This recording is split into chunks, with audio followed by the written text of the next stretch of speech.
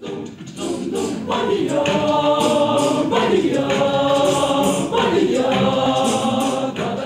Саундтреком із Бондіани зустріли у Хмельницькій центральній книгозбірні авторку українського історичного вестерну Лору Підгірну. Адже герой другої книги Марко Швед, співробітник таємного легіону УНР, 20-річний кам'янчанин із заможної родини, який знає декілька мов, має гарну військову освіту і майстерно володіє зброєю та навичками диверсійно-розвідувальної справи. На запитання, чому саме вестерн, Лора Підгірна відповіла. Це жанр, який дає змогу творити українських героїв такими, до яких ми звикли в закордон в зарубіжних е, книгах, в зарубіжних фільмах. Тобто, це е, жанр, де який дає можливість нашим.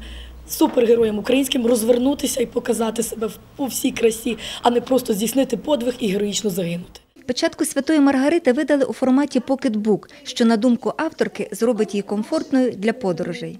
Марко Швець сьогодні в такому покетбук форматі вже побував на острові Балі, в Мюнхені, в Відні, в Венеції, е, де ще не знаю, десь обіцяють скоро в Дубаї буде.